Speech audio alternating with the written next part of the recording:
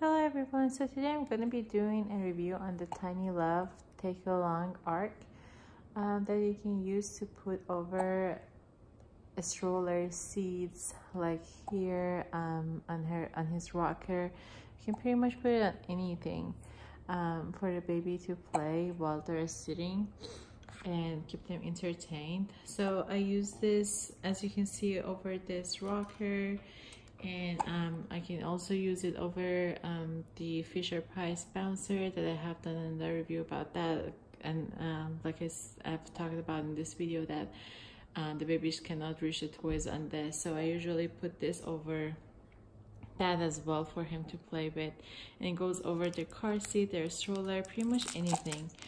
Um, I love the thing that I really love about this is that it's so versatile and it can you can shape it however you want depending on um, your baby's age and what interests him.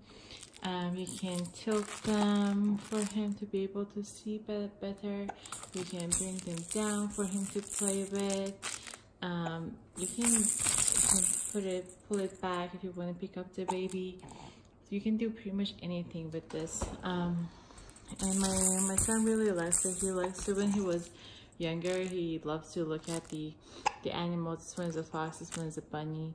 And um, that would just keep him happy. And you can see it makes um, the baby's most favorite sound.